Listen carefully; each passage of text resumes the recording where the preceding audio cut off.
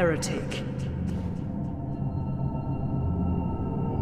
First thou offendeth the Godmother, and now thou see fit to trample upon the tomb of the great Lord.